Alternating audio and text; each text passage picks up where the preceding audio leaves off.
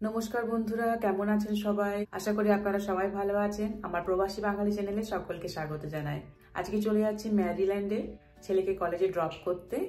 তো সবকিছু শেয়ার করব কীভাবে কলেজের মুভিন হয়। সঙ্গে থাকুন, পুরো ভিডিওটা দেখুন। আর ভালো লাগলে অবশ্যই চ্যানেলটিকে সাবস্ক্রাইব করবেন।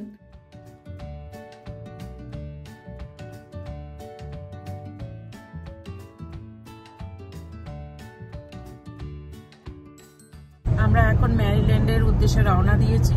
এখন দেখি কতক্ষণ সময় লাগে। হাতে আমরা এমনিতে ভেবেই নিয়েছি প্রচুর ট্রাফিক থাকবে। তো পাঁচ ঘণ্টা তো মিনিমাম লাগবেই বুঝতে পারছি। দেখা যাক কতক্ষণ সময় লাগে। নিউ জার্সি থেকে ম্যারিল্যান্ড যেতে আমাদেরকে তিনটে স্টেট ক্রস করতে হবে। না হলে আমাদেরকে মানে যদি বস্টন থেকে ডাইরেক্ট আসি তাহলে আমাদেরকে কিন্তু সাতটা স্টেট ক্রস করতে হয়। আমরা এই মাত্র নিউ জার্সি ক্রস করলাম তারপর ডেলাওয়ার স্টেটে ঢুকেছি। তো এখনও আমাদের প্রায় আড়াই ঘণ্টার মতো সময় লাগবে ম্যারিল্যান্ডে পৌঁছাতে। প্রচুর ট্রাফিক পাচ্ছি।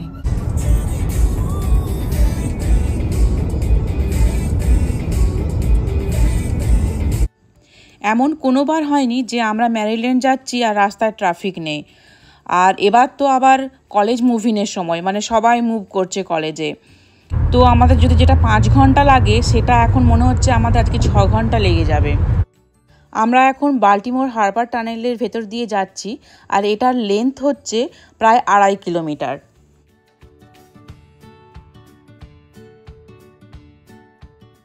ফাইনালি আমরা ম্যারিল্যান্ডে এসে পৌঁছেছি। সকাল দশটায় বেরিয়ে এখন প্রায় চারটে বেজে গেছে।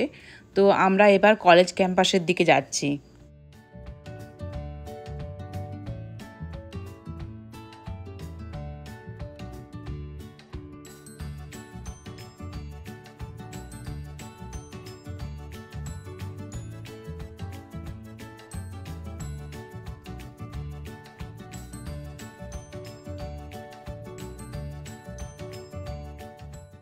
আমরা এখন কলেজ ক্যাম্পাসে চলে এসেছি। আর আমাদের হাতে যদি সময় থাকে সব কিছু মুভিন করার পরে, তাহলে আপনাদেরকে আমি একটু ক্যাম্পাসটা ঘুরিয়ে দেখাবো। এখানে আমরা গাড়ি রাখব, আর তারপর আমরা জিনিসপত্র নিয়ে ভেতরে যাব। এখানে কলেজ মুভিনেরও একটা নিয়ম আছে। অ্যালফাবেটিক্যালি মুভিনের টাইম স্লট করা থাকে।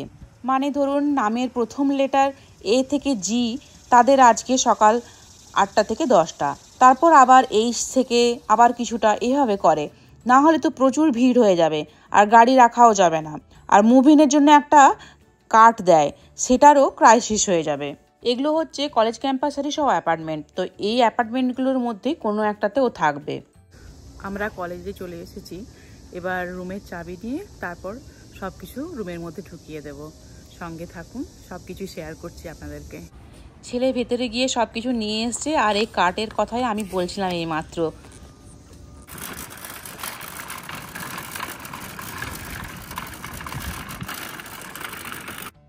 অ্যাপার্টমেন্টের বাইরে রয়েছে বাইক স্ট্যান্ড। যেহেতু ক্যাম্পাস খুবই বড়, তার জন্য স্টুডেন্টরা ক্লাস করতে যায় বাইক নিয়ে বা স্কুটার নিয়ে। মানে এক ডিপার্টমেন্ট থেকে আরেক ডিপার্টমেন্টের যেতে প্রায় টোয়েন্টি মিনিট সময় লেগে যায় হেঁটে। ওদের কলেজ ক্যাম্পাসে সাইজটা হচ্ছে একটা ছোট শহরের সমান, এতটাই বড়। এই কলেজের স্টুডেন্ট হচ্ছে প্রায় একচল্লিশ হাজার। আমরা গাড়ি থেকে কিছু জিনিসপত্র কাটের মধ্যে নিয়ে ভেতরে চলে এসেছি। আর এটা হচ্ছে অ্যাপার্টমেন্টের লবি।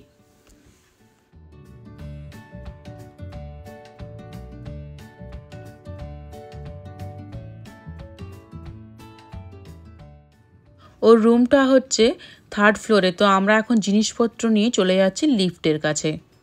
অনেকগুলো জিনিসপত্র আছে, হয়তো আর দুবার আমাদেরকে আসা যাওয়া করতে হবে। এবার ওদের যে ক্লাসটা শুরু হবে, সেটা হলো ফল সেমিস্টার আর প্রতি বছর দুটো করে সেমিস্টার থাকে স্প্রিং সেমিস্টার আর ফল সেমিস্টার মানে চার বছরে ওদের আটটা সেমিস্টার থাকে মোট। ফল সেমিস্টারের ফাইনালটা হয় উইন্টার ব্রেকের আগে মানে ক্রিসমাসের ছুটির ঠিক আগে। আর তারপর এক মাস ছুটি থাকে, আবার কলেজ খুললে শুরু হয়ে যায় স্প্রিং সেমিস্টার।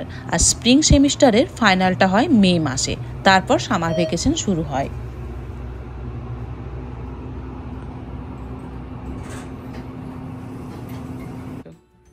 থার্ড ফ্লোরে আমরা চলে এসেছি, তো এবার চলুন দেখি ওর অ্যাপার্টমেন্টটা কী রকম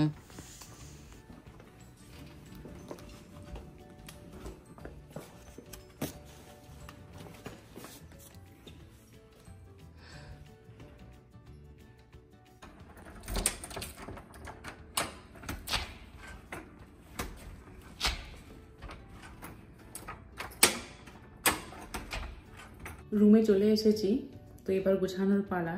তো এবার তো ওরা অ্যাপার্টমেন্টে আছে, তার জন্য ওদের এবারে কিচেনও রয়েছে। আর তার সাথে লিভিং রুম রয়েছে, তাতে সোফা আছে আর এই যে ডাইনিং টেবিলটাও রয়েছে। আর চারজনে থাকবে, তো চারজনে চারটে আলাদা আলাদা রুম রয়েছে। আমি দেখাচ্ছি আপনাদেরকে সব কিছু এটা হচ্ছে ছেলের রুমটা, কয়েকটা ফার্নিচার আছে। এটা হচ্ছে স্ট্যান্ডার্ড মানে হোস্টেলে থাকলেও এইরকমই থাকে, আবার এই অ্যাপার্টমেন্টে দেখছি একই ব্যাপার। মানে ওই একটা ড্রয়ার দেয়, আর বেড থাকে, বেডের ম্যাট্রেসটা থাকে, আর এই কম্পিউটার ডেস্ক থাকে, কম্পিউটার বসার জন্য চেয়ার থাকে, আর একটা ক্লোজেট থাকে। এই যে ক্লোজেটটা, ছোট্ট মতো। এর মধ্যে সব জিনিস গুছিয়ে সুন্দর করে রাখতে হবে। রুমটা বেশ ঠিকঠাকই লাগছে আমার।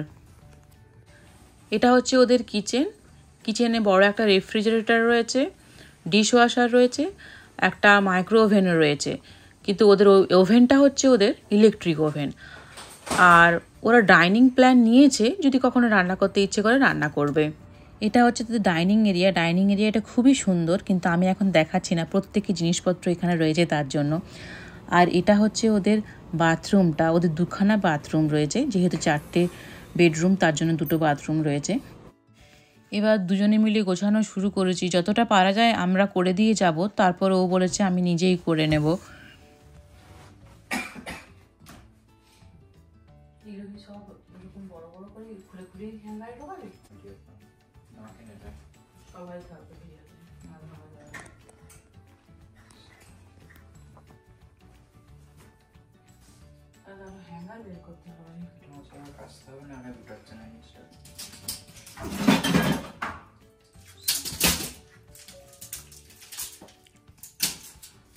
আমাদেরকে সব খুব তাড়াতাড়ি গুছিয়ে নিতে হবে, কারণ আমাদেরকে আবার একবার বেরোতে হবে ওকে নিয়ে, কারণ ওর কয়েকটা জিনিস এখনও কেনা বাকি আছে, সেগুলো সব কিনতে হবে বাইরে গিয়ে।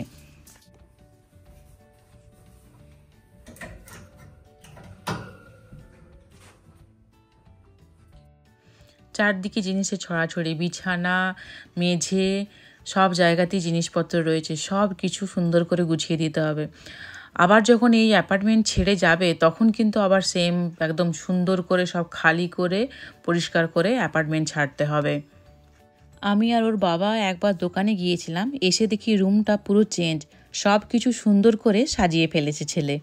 জানি ও খুব গোছাতে ভালোবাসে, কিন্তু এত তাড়াতাড়ি এত সুন্দর করে গুছিয়ে ফেলবে আমি ভাবতে পারিনি। কম্পিউটার ডেস্ক খুব সুন্দর করে সাজিয়ে ফেলেছে, ক্লোজেটও খুব সুন্দর করে একদম গুছিয়েছে, একদম টিপটপ পুরো। আমরাও নিশ্চিন্ত হলাম সব গোছানো হয়ে গেছে দেখে। এবার চলুন আপনাদেরকে যতটা পারি একটু ক্যাম্পাসটা ঘুরে দেখায় খুব বেশি আমরা ঘুরবো না, তার কারণ আমাদের দোকান যাওয়া আছে, দোকানও বন্ধ হয়ে যাবে। তারপর আমরা খাওয়া দাওয়া করব, তারপর আবার আসব ছেলেকে ড্রপ করার জন্য এখানে। তো অনেক কাজ বাকি আছে। এই যে এটা দেখছেন, এটা হচ্ছে এই কলেজের স্টেডিয়াম।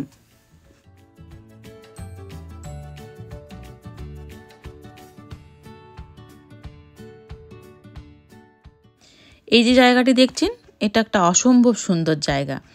দূরে যে বিল্ডিংটি দেখা যাচ্ছে, এটা হচ্ছে এই কলেজের লাইব্রেরি আমি লম্বা ছুটি থাকলে মাঝে মাঝে আসার চেষ্টা করি এখানে। আবার যখন আসব, তখন পুরো ক্যাম্পাস খুব ভালোভাবে আপনাদেরকে ঘুরে দেখাবো। আমরা এখন চলে এসেছি কম্পিউটার সায়েন্স বিল্ডিংয়ের সামনে।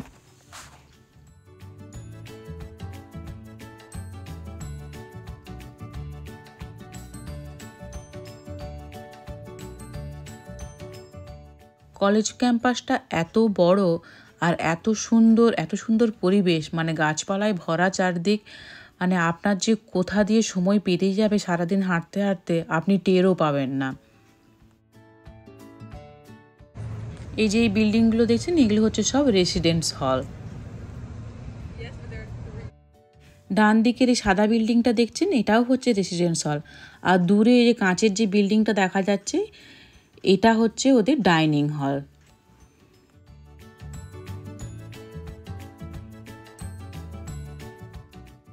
এখানেও কিছু রেসিডেন্ট হল রয়েছে। আর এই হলগুলোতেই থাকতো আগের বছর মানে আগের দুটো বছর ছেলে এখানে। আর এগুলো হচ্ছে সব আটতলা করে, ও এইট ফ্লোরেই থাকতো। আমি যখন ওকে বাড়ি নিয়ে গেছি মুভ আউট হয়েছে কলেজে তখনকার একটা ভিডিও আমি আপলোড করেছিলাম। আমি ডিসক্রিপশন বক্সে লিঙ্ক দিয়ে দেবো, আপনারা ওখান থেকে দেখে নিতে পারেন। এবার আমরা কলেজ ক্যাম্পাস থেকে বেরিয়ে দোকানে চলে যাচ্ছি।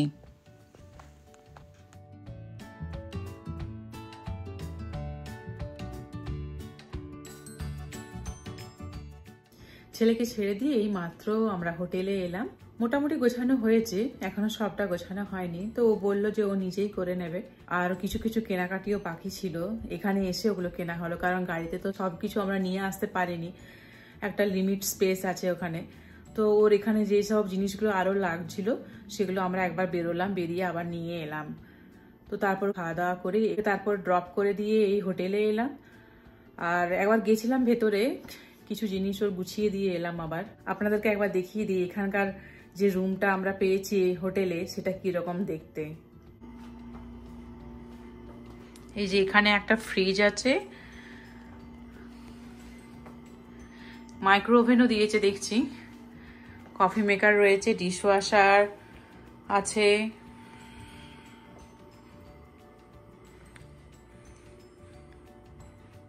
ছোটর মধ্যে রুমটা বেশ ভালোই।